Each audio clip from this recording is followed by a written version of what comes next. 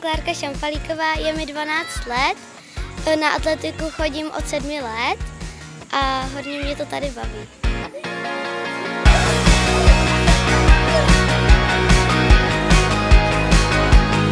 Rozhodli jsme se, když Klárce bylo asi 7 let, začali jsme s atletikou a byla jsem úplně nadšená, protože eh, je atletika zaměřená na všeobecnou pohybovou přípravu.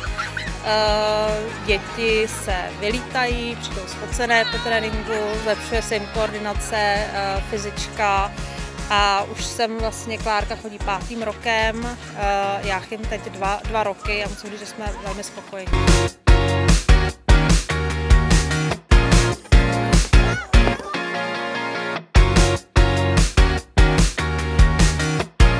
Atletickém oddílu AK Škoda Plzeň se v současné době věnuje atletice eh, téměř 300 dětí ve věku do 15 let. Máme tady 13 eh, eh, až 15 kvalifikovaných trenérů, kteří jsou v jednotlivých skupinách, plus nám s vedením pomáhají studenti Západočeské univerzity a další noví praktikanti. Trénujeme všechno a pak vlastně vybíráme, co chceme na závodech. Trénujeme v úterý, v pát, ve čtvrtek a v pátek. Hodně mě baví překážkový běh a zhubnu tady jakože hodně.